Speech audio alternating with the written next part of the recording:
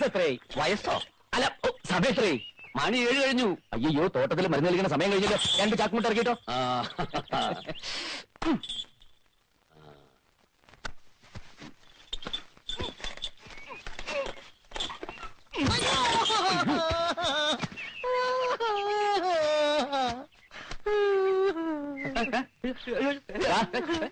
നീ ചാക്കിനകത്ത് കയറി കിടന്ന് ഉറങ്ങായിരുന്നു അപ്പൊ ആരാ വണ്ടി കളിച്ചത് വണ്ടി ആരും തെളിക്കണ്ട. ഇത് ഒട്ടകീറ. താനെ തെളിഞ്ഞോളും. നീ ആ രണ്ട് ചാക്കുമുട്ട് ഇറക്കിട്ടെ ഇതിന് ഇവിടെ ഇറക്കണേ? ഇത് നിന്റെ വീട്ടിൽ കൊള്ളാല്ലേ ഇത് എന്റെ വീട് തന്നെ അല്ലടാ ഇങ്ങോട്ട് ഇറക്കിടാ ആ, എടുത്തോ. എടാ മണി ഞാൻ എങ്ങനെയാ പൊക്കണത്? ഒന്ന് പൊക്കിത്താ. നോക്കിക്കോടാ അങ്ങോട്ട്. അങ്ങോട്ട് അങ്ങോട്ട് അങ്ങോട്ട് അങ്ങോട്ട്. വയ്ക്കാൻ. അങ്ങോട്ട്. വാ ആ, എന്തേ കാട്ടണേ? കൊണ്ടുപോയി വെക്കടാ. ഉം. അമ്മ വാ ഓ. ഓ.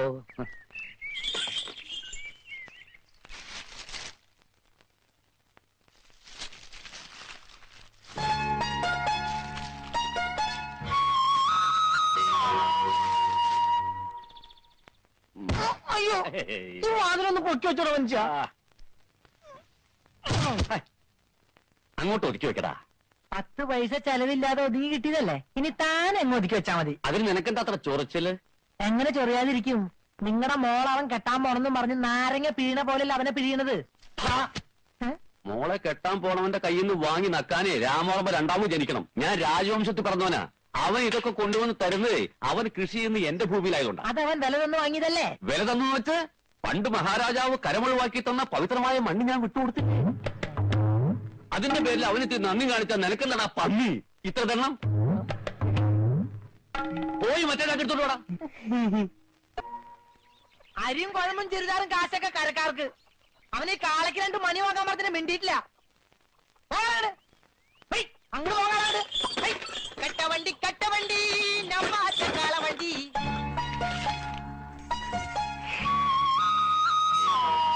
ടെങ്കടേ. മായ അവിടെ ഇല്ല അവൾ നിന്റെ വീട്ടിലാ.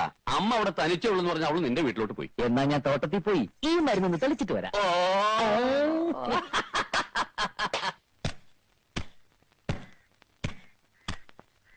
അല്ല അവൻ അത്രയ്ക്ക് ടാറ്റയോ ബിർലോ ഒന്നല്ലല്ലോ ആ വീട്ടിൽ ഉപ്പ് തൊട്ട് കർപ്പൂരം വരെ അവനെ വാങ്ങിച്ചു കൊടുക്കണത്. അല്ല പുന്നമ്മേ റേഷൻ കടയിൽ ക്യൂ നിൽക്കുന്ന പോലെ അനീറ്റിമാര് കൈ നീട്ടി ഓരോരോ സാധനങ്ങൾ വാങ്ങിക്കണത് ഛേ എനിക്ക് എന്റെ തോലുരിഞ്ഞു പോയി.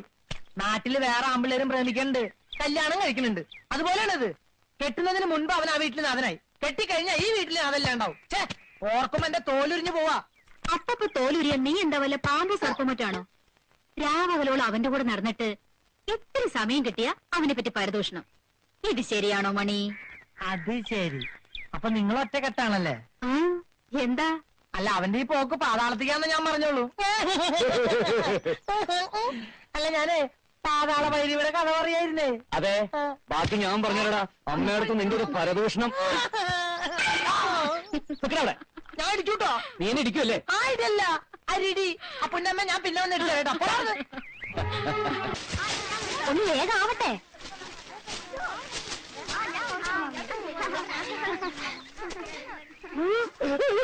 ഞാനും സഹായിക്കാം. ഓ വേണ്ട.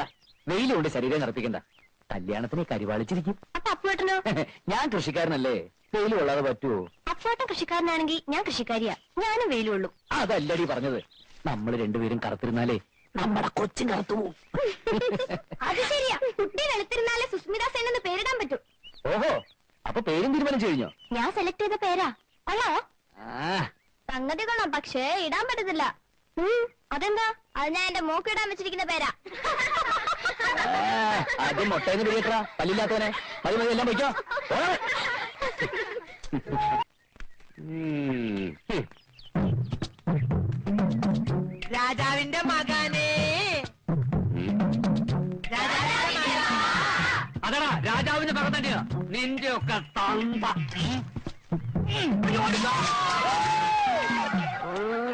നീയൊക്കെ എന്ത് വിചാരിച്ചടാ എന്താണോ രാവിലെ കുട്ടികളുമായിട്ട് ഏറ്റുപിടിച്ചിരിക്കുന്നത് കുട്ടികളോ? ഇതാ കുട്ടികൾ.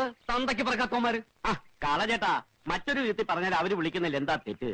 പറഞ്ഞു വരുമ്പോൾ ചേട്ട ശരിക്കും രാജാവിന്റെ മകൻ തന്നെയല്ലേ? അങ്ങനെ ചോദിച്ചാ അതെ. സംഗതി കളിയാക്കിയിട്ടാണെങ്കിലും ആ വിളി കേൾക്കുമ്പോൾ ഒരു സുഖമില്ലാതില്ല.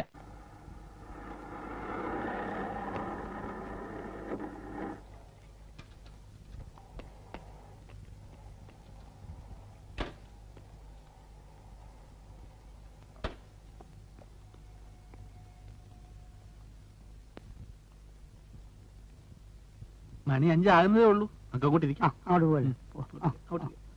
എന്താണിത് കൊട്ടാരോ? സൂക്ഷിച്ചറിഞ്ഞോളിയ ശില്പിക്കണ്ട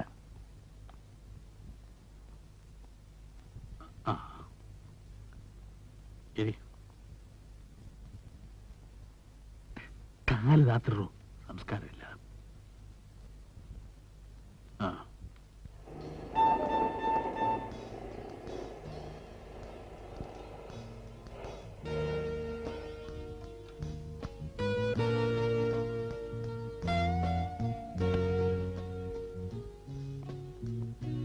വണ്ടി കൊണ്ട് മാറ്റിട്ടേ ആ എത്തിയല്ലോ.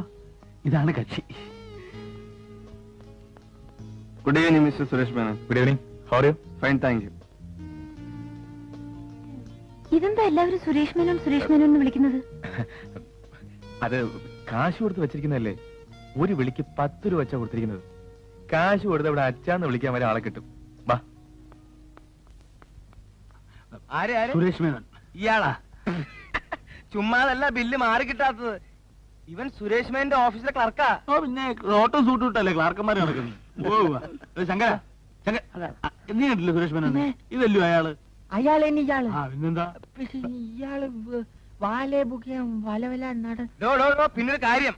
എല്ലാവരും ഞാൻ തന്നെ പറ്റിക്കാന്ന് വിചാരിക്കരുത്. എല്ലാത്തിനും ഞാൻ ജയിലാക്കും ഇടൂ മാപ്പിള അയാൾ തന്നെ ഇയാൾ. ഇയാളല്ല അയാൾ. പിന്നെ ഇയാൾ അയാളല്ല? ഇയാൾ ആര്? ഇയാൾ സുരേഷ് മേനോൻ എന്റെ ഓഫീസിലൂടെ തല്ലിപ്പിളി നിക്കട്ടെ, ഞാൻ കാര്യം പറയാം ഞാൻ കാര്യം പറയാം. ഇയാളെ ഇവിടെ എല്ലാവർക്കും പരിചയമുണ്ടെന്ന് തോന്നുന്നു. ഇയാൾ ഇങ്ങോട്ട് വരുമ്പോ എല്ലാരും സലാം സലാം എന്ന് പറഞ്ഞു. നമ്മൾ എന്തിനാ വെറുതെ തർക്കം പിടിച്ചിട്ട് നമ്മൾ നേരിട്ട് അവിടെ പോയി ഞാൻ പറഞ്ഞു ഇയാളാണ് സുരേഷ് മേനോൻ. ഞാൻ പറഞ്ഞു ഇയാളല്ലാന്ന്. ഏ? പണ്ടായം വെക്കുന്നോ. എത്ര രൂപ? നൂറ് രൂപ. നൂറ്, രൂപ. നൂറ്. രൂപ. നൂറ് രൂപ എടുക്ക്. അങ്ങോട്ട് കൈയോടെ കൈയോടെ രണ്ട് കൈ കൈ ആ. ഇങ്ങോട്ട് വെക്ക് കൈ. വെച്ചു അടുത്ത് നിക്കട്ടെ.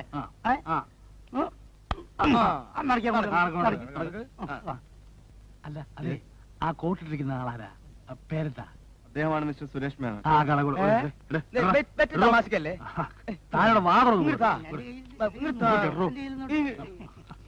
ആ. പിന്നൊരു കാര്യം. എല്ലാരും എല്ലാരും ഭയഭക്തി ബഹുമാനത്തോടെ നിന്നോണം. ഏ? കേട്ടല്ലോ? തൊട്ടിത്തരം ഒന്നും കാണിക്കരുത്. തന്റെ ഈ ഏമ്പക്കം കോട്ട് പോയി ഉടച്ചു വിളമ്പരുത്. ആ നിനക്കൊക്കെ നന്നാകാനുള്ള അവസാനത്തെ ചാൻസാ. മനസ്സിലായോ?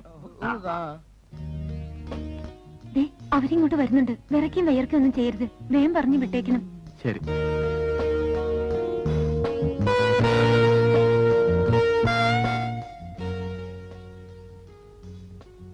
നമസ്കാരം. ഇതാണ് എന്റെ മാഷ്. Keerikkattu Chelappam Pillai. Hello hello Keerikkattu theatres ഇത് എന്റെ ട്രൂപ്പ് മെമ്പേഴ്സ് എല്ലാവരും ഇരിക്കും. വേണ്ട എന്നോളാം ഒരു കാര്യം ഉണർത്തിക്കാനാണ് ഇത്രം വന്നത്. എന്താ പറഞ്ഞോളൂ? ഭാഗ്യവശാൽ വളരെയധികം ജന്മവാസനയുള്ള ഒരുപിടി കലാകാരന്മാരെയാണ് എനിക്ക് കിട്ടിയിട്ടുള്ളത്. സാമ്പത്തികമായി ഒരല്പം ക്ഷീണമുണ്ട്. രോഹിണിക്കറിയാം. അതുകൊണ്ട് ഞങ്ങളെ ഒന്ന് സഹായിക്കണം. അതിന് ഞാൻ നൃത്തമൊന്നും പഠിച്ചിട്ടില്ല. തമാശ. ഞങ്ങൾ പഠിച്ചിട്ടുണ്ടല്ലോ. മേനോ സാറ് ഞങ്ങളുടെ ഒരു രക്ഷാധികാരിയും ഒപ്പം ഒരു പങ്കാളിയും ഒക്കെ ആയി കൂടണം എന്നാണ് ഞങ്ങളുടെ ആഗ്രഹം. എന്താ രോനി അതിന് ഞാൻ എന്താ വേണ്ടത്? ഒരു ചെറിയ എമൗണ്ട് റേസ് ചെയ്ത് തൽക്കാലം ഞങ്ങളെ സഹായിക്കണം. എത്രയാ വേണ്ടത്? ഒരു അൻപതിനായിരം രൂപ. അത്രയുള്ള? അമ്പതിനായിരം മതിയോ? ഒരു എമൗണ്ട് ആയിട്ട് ചോദിച്ചേ ഉള്ളൂ. പണമല്ല സാറ് ഞങ്ങളോട് ഉണ്ടാവണം. അതാ പ്രധാനം.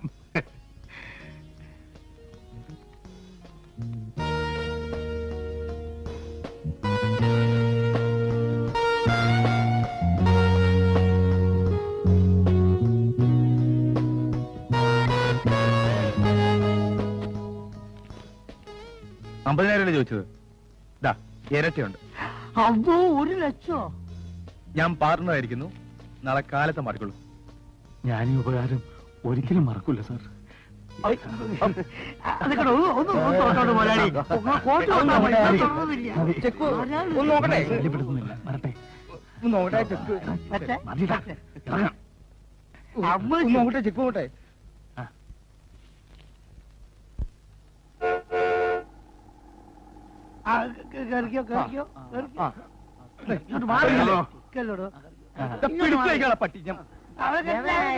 ഏയ്, എന്റെ കാശ.